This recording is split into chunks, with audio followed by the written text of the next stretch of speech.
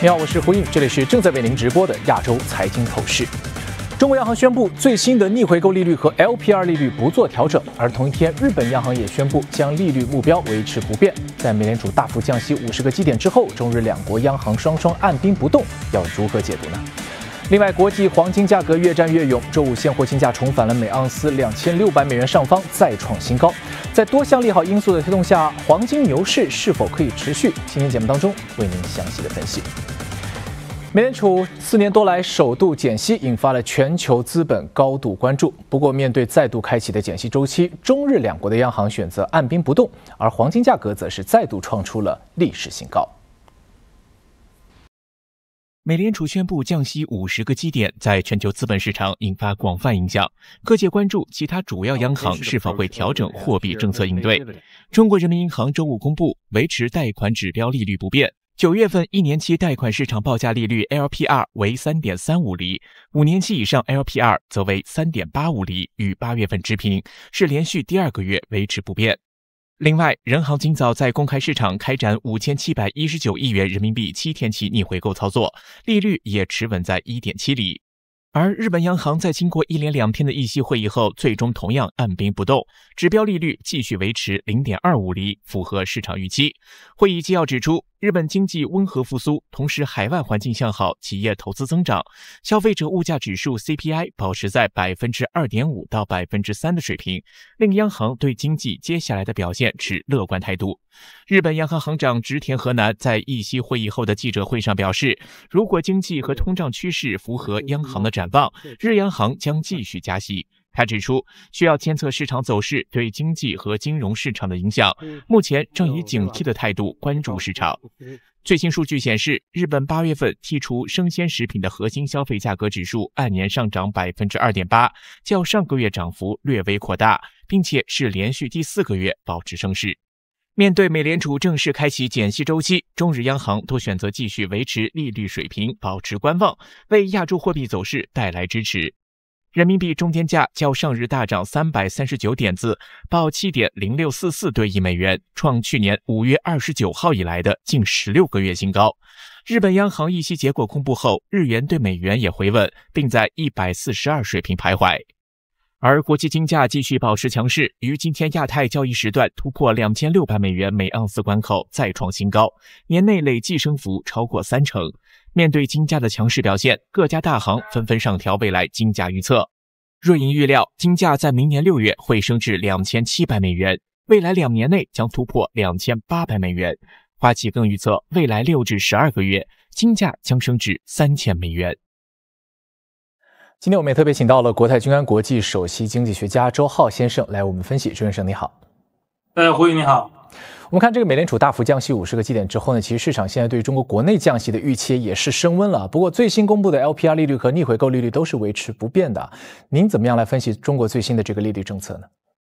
呃，坦率来说，有一点点让市场吃惊，但是我觉得某种程度上可能也意味着就是中国可能更多的政策会转向存量房贷的调降这一边啊。因为如果说存量房贷调整的话呢，利率调整的话呢，可能对于呃，央呃，对于银行来说有更大的一个息差的这样的一个压力，呃，所以不调整 LPR 呢，我觉得在某种程度上，呃，可能意味着啊，不想新增啊，对商业银行的这样的一个压力，未来更多的政策应该会转向对存量房贷利率的调整这一端啊，因为这个存量还是比较大的，呃，对于银行中长期而言，呃，会有很大的一个呃息差和利润收窄的这样的一个可能性。呃，所以呃，从这个角度上来说的话呢，呃，我认为呃两方面的考量啊，第一个呢就是基准利率不调整，L L P R 不调整，意味着 M F L M F 就是也调整可能性比较小，那么人民币的汇率呢会保持稳定啊。另外一点上而言的话，我觉得更重要的啊，应该会去调整这个存量房贷利率的可能性啊，在近期呢有一个逐步升高的啊这样的一个可能性。啊，所以我觉得市场呢应该静观其变。啊，总体上我觉得，呃，这个对于增经济增长的这样的一个目标和决心，应该没有出现呃特别大的一个变化。啊，工具上而言的话，技术上而言还是有很多的呃可以调整和这个施就是动用的这样的一些工具和手段。是，除了中国央行今天没有调整政策利率之外呢，日本央行同样也是选择了按兵不动啊，将这个目标利率水平是维持在零点二五厘的水平。那结合日本央行的行长直田和南他今天在记者会上的一个表态，您怎么样去判断接下来日本央行的一个行动？也就是说，下一次加息的一个时间点在哪里？另外，我们也知道说，其实七月份的时候，日本央行加息的时候引爆了一个全球股市的一个震荡啊，大家是不是要担心这个震荡可能会在年底重演？呃，我觉得年底出现震荡呢，这个可能性是存在的，但到底到底是不是日本央行的这样的一个利率决议呢？可能还存在一定的一个争议啊。呃，从日本本身而言的话，总体上来说，日本会不断的加息，呃，日本的整体的一个通胀啊、工资和这个经济增速都处在一个上升的，或者说相对比较平稳的这样的一个上升的区间之内。呃，所以说，呃，总体上而言，我倾向于认为日本央行会在未来的。两到三年甚至更长的维度之内啊，进行这个相对比较缓慢的这样的一个加息这样的一个动作，呃，那么考虑到就是说，呃，美国呢近期呢出现了降息啊，所以日本央行可能啊在这方面的压力呢，尤其考虑到日元的汇率啊，这方面压力没有那么的大啊，但是呢，从日本国内的经济来说的话，日本央行的加息还是一个大概率的这样的一个事件。我认为年内还会有加息的这样的一个动作，同时呢，甚至很有可能下一次加息不会像以前那样，呃，是十个基点，而是更大幅度的啊这样的一种状态。呃，所以，呃，从这角度上来说的话，我们如果说以 G7 呃为一个一个主体的话呢，那么日本是完全是脱离在这个 G7 之外的，就是说以美国为首的多数的发达国家，呃，会在未来两年之内啊持续的降息。但日本会面临持持续上加息和持续的货币紧缩的这样的一种压力和可能性。确实，谢谢周浩先生。日本央行究竟什么时候加息？究竟会加多少？确实也是引发了全球市场的关注。另外就是各类资产价格在美联储加息之后波动也是显著加大了。在下节回来我们会继续和周浩先生一起探讨，稍后见。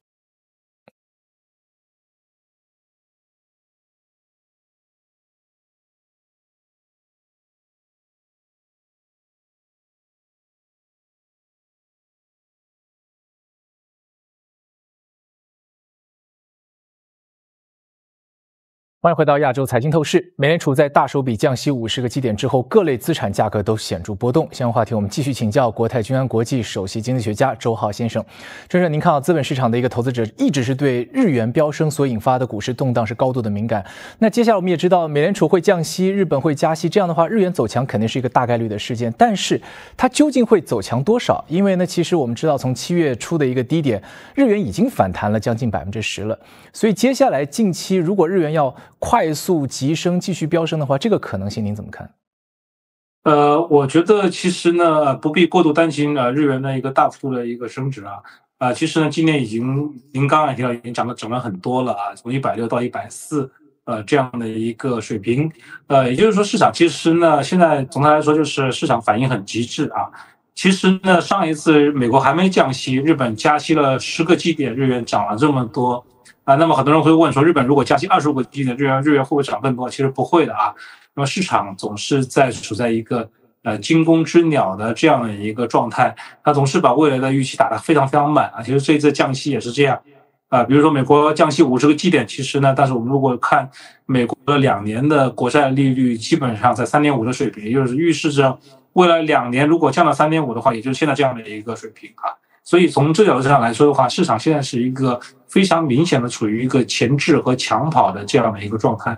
呃，所以我并不担心说日元会再度的大幅度的一个升值，呃，我倾向于认为日元会在一个中长期的中长期的维度之内，呃，保持在一个相对弱势的啊一个区间之内，啊，因为啊无论如何的话，日元的汇率啊日元的利率还是比美元还是会低相当大的一个水平。呃，那么短期的这样的一个升值，只是反映了预期的一个调整啊。中长期而言的话，我觉得日元的利率啊低于美元还是一个大概率的事件，所以呢，日元不会出现一个大幅度的一个升值的状态。日元应该不会出现大幅度的升值啊，但是不知道人民币会不会呃有这么一个相同的表现？因为人民币在美联储加息降息之后呢，它的波动也是加大了。我们看今天离岸人民币是一度升破了七点零四的水平，所以后续啊，您觉得人民币的走势主要还会取决于哪些因素呢？我们短期之内有没有可能看到人民币对美元回到一个六字头的时代？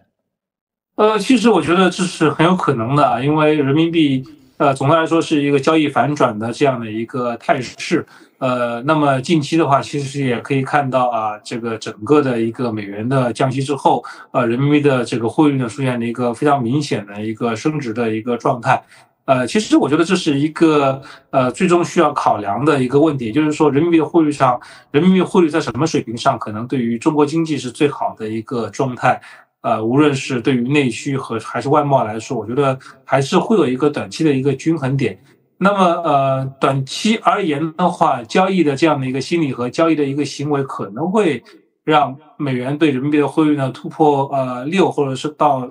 的突破七到六字头这样的一个水平，我觉得不排除啊这样的一个一个状态呃，但是如果我们如果去看这一年的人民币或者这几年人民币态势来看的话，其实基本上还是在七到七点三的这样的一个区间之内啊，做一个呃上就是说宽幅的一个震荡。所以我觉得我相信这个区间啊，或者说更窄的，比如说七点零到七点一五的这个区间。啊，基本上还是一个啊相对可以维护的呃这样的一个状态，也是可能对于中国经济相对呃比较友好或者说比较中性的一个状态。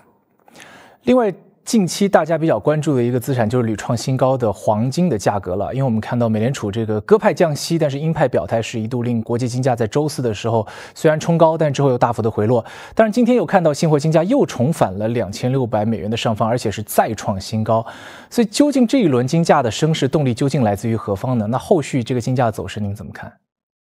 呃，我其实跟很多人讲一个观点，就是说，如果说美元涨，黄金涨啊；美元跌，黄金也涨啊；利率涨，黄金涨；利率跌，黄金也涨啊。那么，其实呢，我们可能在某种程度上需要把黄金作为一个单独的资产类别来做一个评估啊。同时呢，我觉得近期黄金跌创新高，呃，这样的一个呃，把黄金作为一个单独的资产类别作作为评估的这样的一个概率也在上升。呃，那么呃，从这个角度上来说的话，就是说黄金的定价模型和定价模式在出现变化，可能我们短期来说可能找不到最好的那样的一个模式啊。但是呢，黄金价格的不断的上升，也意味着市场对它的投资和研究的需求也会上升。呃，所以我觉得这是一个开放性的问题。呃，无论如何的话，我觉得黄金会保持一个相对比较稳健甚至强势的啊这样的一个状态。直到所有的啊研究和投资发现啊，它真正的奥秘在什么地方的时候呢？可能黄金的涨势才能够停止。我觉得大家还是应该关注黄金的一个中长期的一个态势。好，另外我们再来看看股市啊，因为香港股市在美联储降息之后是连涨两天，现在是站稳在了一万八千点的上方，而且两天呢这个涨势都是还不错。我们联系到近期啊，一个是科技股的反弹，另外就是大型这个一个 IPO 美的它上市之后的表现也非常的不错，所以整个看起来，您觉得港股现在整个的情绪是不是已经有显著转好的迹象了？呃，很明显啊，其实呢，我们很看好四季度港股的表现。呃，这一点上而言的话，我觉得可能跟很多这个机构看的看法并不是完全一样。呃，其实港股今年而言的话，是恒生指数从呃年头上的一个低点，然后是逐级的向上的一个走势。二季度呢，呃，走得非常好，然后三季度呢有一个调整，然后我们是非常看好港股在年底前和四季度的这样的一个表现啊。那么几个方面的原因啊，第一个降息，就美国的降息应该是一个催化剂。另外一方面的话呢，其实南下资金对于港股的影响，呃非常大啊，越来越大。同时呢，港股有很多独特的标的，比如说呃 TMT 板块啊，包括有一些近期回归的呃这样的一些啊标的。同时呢，香港本地有一些这个公用事业股和这个相对比较大的银行股。其实我觉得港股自身的独特性。另外一个呢，我觉得大家不得不关注的一点就是说。港股呢，以前是跌的时候呢，估值越来越便宜，但是现在在一个底部抬升的过程当中，港股还是很便宜。这个呢，我觉得值得去关注，或者说这是一个更值得去呃研究的啊这样的一个故事，而不是在一个下行区间里面觉得它会更它的便宜已经到底了，因为这个意义不大，而是我们要在一个见底的一个趋势当中看到它啊，它还是很便宜的。这个时候，我觉得值得大家去关注和投资。是，那不同的板块之间是不是也会有一些相对优势的存在？比如说，最近其实随着美联储下调了一个利率，那香港的利率也会跟随着下调，那相关的对于利率比较敏感的一些个股，是不是也会带来一些潜在的机会呢？呃，我其实呢，呃，不是完全持这样的一个看法。也就是说，比如说我们简单来说，香港这个降息，地产是不会很好啊。这个我觉得可能是一个中性的看法。我觉得对于港股而言，呃，最为重要的还是看到港股的一些独特性的一些标的啊，尤其是 TMT 板块啊这样的一些，呃，就是在别的市场买不到的这些东西。我觉得这一点是可能会先期会跑出来的。那么，因为房地产板块而言，它很容易啊被证实和证伪，因为市场很容易去看它的成交量和成交价啊，所以我觉得这是一个互相不断可以去呃 check balance 的这样的一个一个状态啊啊，所以从这角度上来说的话，我们必须要看到降息之后实际成交量上升啊，才会去追逐地产啊，这我觉得可能是下一阶段大家去考虑的一个问题。好的，非常感谢周浩先生的解读。那么在下节回来会带您关注更多的财经资讯，稍后见。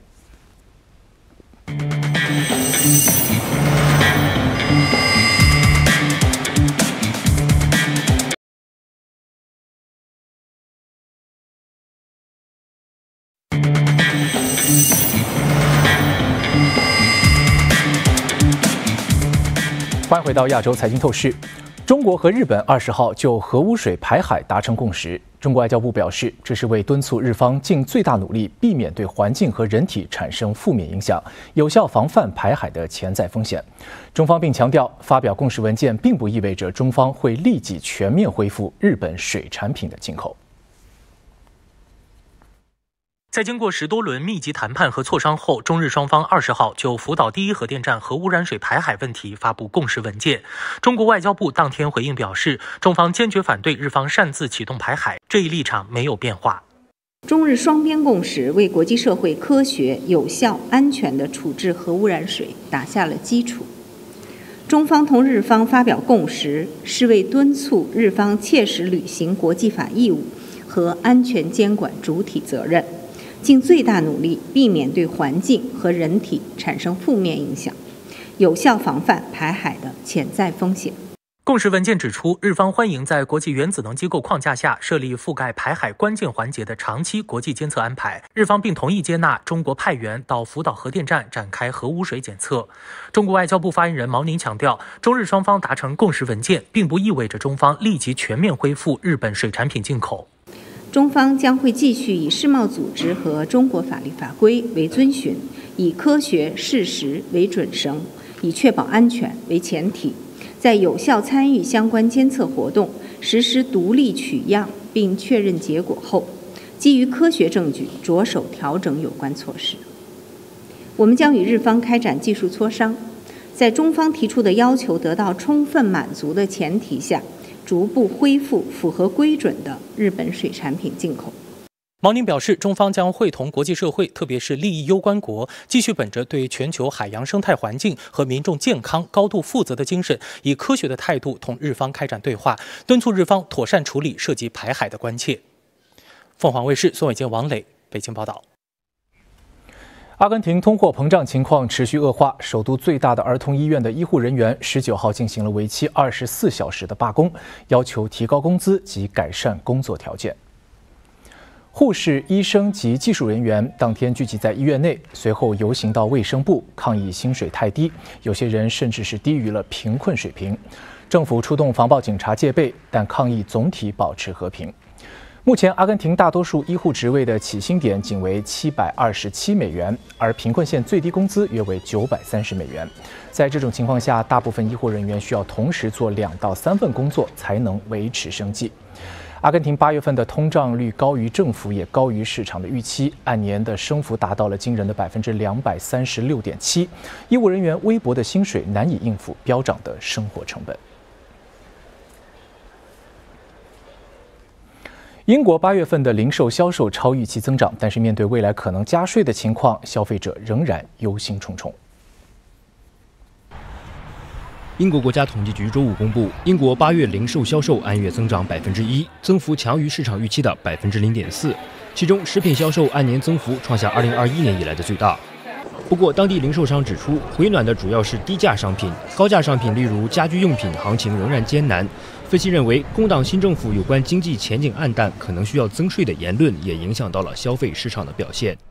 根据政府同一天公布的数据，今年四月至八月期间，英国财政赤字总额为六百四十一亿英镑，比当局三月时的预期多出百分之十。国债占 GDP 的比例自一九六一年以来首次达到百分之一百，这可能迫使工党政府在下个月的财政预算案中更加激进地提高税率。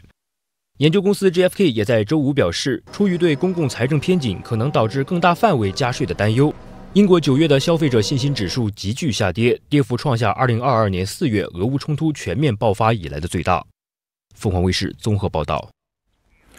中国的成品油价今年以来第八次下调，并且迎来了年内的最大降幅。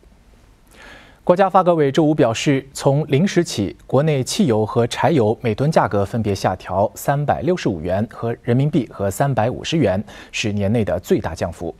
由此计算，全国汽油平均零售价格每升下调两毛九到三毛，柴油也下调三毛。这是今年十九次成品油调降，也是年内的第八次下调，呈现七涨八跌四搁浅的格局。涨跌互抵之后，汽油的每吨价格仍然上涨了一百五十元，而柴油则是上涨了一百四十五元。接下来一起关注今天在海内外的财经媒体还有哪些热搜的话题。首先来看的是凤凰网财经今天的热榜，关注了内地最大的房地产中介贝壳在多次试水拿地之后，正式进军了房地产开发业务。今天成都金融城三期 H 十二地块拍卖，经过高达八十二轮的竞拍，最终贝壳旗下的住宅开发服务平台贝好家是获得了中标，而且刷新了当地楼面地价的记录。贝好家在成立之后呢，其实动作一直是比较谨慎，直到今年才开始发力。在北京和广州两大一线城市都是有试水，不过之前都没有正式的拿地。英国金融时报今天是聚焦了美联储为什么选择大幅的降息呢？因为从历史来看，美联储通常只在面临巨大经济冲击的时候才会偏离传统的二十五个基点的政策调整幅度。如今在没有出现这类经济金融压力的情况之下，美联储却选择了降息五十个基点，这就凸显了美联储为了避免不必要经济衰退的目的。也就是说呢，要确保经济实现软着陆。至于《华尔街日报》今天的头条是关注了过去科技人才是受到各大公司大力追捧和争相竞夺，而现在情况则是发生了逆转，一众科技人才在竞争越来越稀缺的职位，反映出了科技行业正在调整劳动力需求，并且加速了人员洗牌。招聘平台的数据就显示，今年以来科技公司的裁员已经是达到了十三点七万人。这个趋势在人工智能的热潮下，似乎是变得更加的显着。而且分析也说呢，在短期之内，这样的趋势是不太可能发生改变的。至于在亚太区内的其他媒体还在关注哪些财经热点，我们一起来了解一下。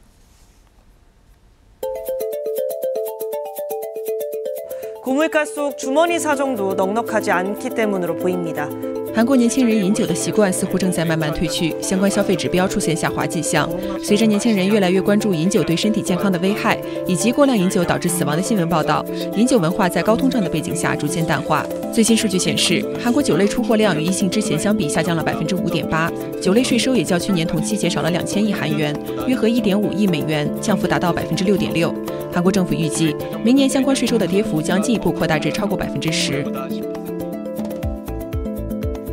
108.7となり、去年の同じ月より2.8%上昇し。日本八月消费者物价指数同比上涨百分之二点八，涨幅进一步扩大零点一个百分点，是连续三十六个月上扬。从产品划分来看，食品价格自去年五月以来首次出现上涨，大米相关产品的价格涨幅最为突出，其中精米价格上涨近百分之三十，果汁和巧克力价格涨幅分别为百分之三十四点九和百分之十二点七，猪肉价格则上涨百分之七点二。 黄金的价格不断创高，一度飙破了两千六百美元，让结婚的新人们决定以租代买。美联储降息推动国际金价节节攀升，台湾不少金银楼的报价牌已经突破五位数，让对金饰需求旺盛的结婚新人望而却步，纷纷以租代买。业者表示，随着金价飙涨，除了推出租借金饰的服务外，抛金潮的热度近期也持续升温，不少消费者就纷纷前往金银楼变现，甚至有人一次就兑现千万台币。以上就是今天亚洲财经透视的全部内容，感谢您的收看，我们下周再会。